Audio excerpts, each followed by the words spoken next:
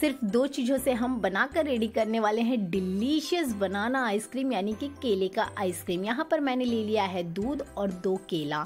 दो केले के लिए दो चम्मच ही दूध हमें ज़रूरत पड़ने वाली है, सिर्फ़ दो चम्मच का, और इसमें चीनी भी नहीं जाने वाला है। केले के छिलके को हम सबसे पहले निकाल लेते हैं। और केले के जो रेसेस है, उसे भी अच्छे तरीके से आपको निकाल लेना है। बिल्कुल भी नहीं रखना है इसके अंदर, केले के अंदर।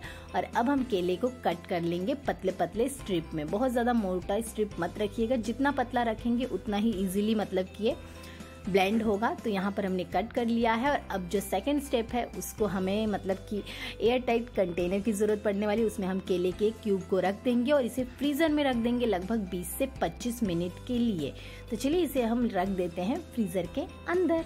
तो ये रहा, ये डब्बा गया हमारे फ्रीज़र के अंदर और अब ये निकलने वाला है लगभग 25 से 30 मिनट के बाद।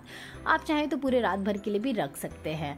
तो यहाँ पर लगभग 25 से 30 मिनट हो चुके हैं। तो चलिए हम चेक कर लेते हैं कि हमारे केले का जो शक्ल है मतलब कि टेक्सचर कैसा है। तो आप देख सकते हैं, केला बहुत ही बढ़िया हार्ड सा लग रहा है ना, जैसे आइस क्यूब होता है उस तरीके से। तो अब हम मिक्सी का छोटा वाला जार लेंगे और इस जार में हम केले के क्यूब को डाल देंगे।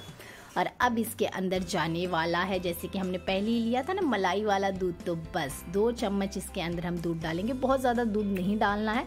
और अगर आप कंडेंस मिल्क का यूज़ करेंगे तो बहुत अच्छी बात है। अगर नहीं है तो नॉर्मल दूध आप ले लीजिए। तो मैंने यहाँ पे मलाई वाला जो दूध होता है ना, वो वाला ले लिया है दो चम्मच और मिक्सी में ब्लेंड कर लेना है। तो बस मिक्सी में ब्लेंड कर लिया और ये देखिए क्या बढ़िया सा टेक्सचर आया है ना।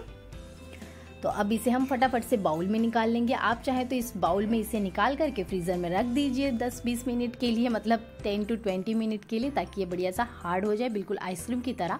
टेक्सचर आ जाए, लेकिन आप इसे ऐसे भी खा सकते हैं, बहुत ही ठंडा चिल्ड और बहुत बढ़िया टेस्ट आता है। मतलब कि आइसक्रीम भी फेल है इस रेसिपी के आगे तो ज़रूर एक बारी बनाइएगा और हेल्दी तो है ही। बच्चे बड़े सभी का फेवरेट बन जाएगा तो ज़रूर इसे ट्राई कीजिए और कैसा बना दो तो फीडबैक ज़रूर शेयर कीजिएगा हमारे साथ। और जो दूध है ना, वो आप ठंडा यूज़ कीजिएगा मतलब चिल्ड मिल्क यूज़ करना है। गर्म करने के बाद थोड़ी देर के लिए उसे भी फ्रीज में रख दीजिएगा। ठंडा होने के बाद आप इसे मतलब कि जब जब इसे ब्लेंड करेंगे ना, तब ठंडा दूध का यूज़ कीजिएगा। मैंने ठंडे दूध का ही यूज़ किया था, वो बताना मैं वीडियो में भूल गई थी स्टार्टिंग में।